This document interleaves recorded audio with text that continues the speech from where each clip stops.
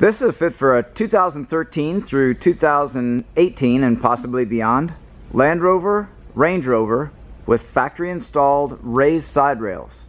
We've outfitted this vehicle with the Thule Rapid Crossroad Aeroblade base roof rack system. The system is using the Aeroblade load bars, 60 inches in length, silver, part number ARB 60, the 450R Rapid Crossroad foot pack, which connects to the raised rails using a flexible stainless steel band.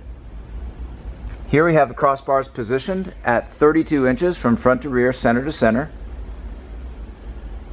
That is a variable distance along the length of the raised rails.